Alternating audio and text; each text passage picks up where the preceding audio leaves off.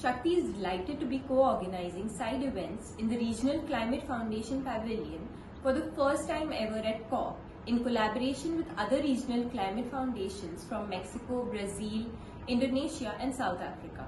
As part of the RCF Pavilion, Shakti will be hosting nine side events throughout COP. The side events will focus on diverse thematic areas relevant to climate change in the global south. These include side events on subnational climate action, uh, operationalizing carbon markets in India, women empowerment through decentralized energy solutions, financing sustainable agriculture, electric mobility and technology options like green hydrogen and offshore wind.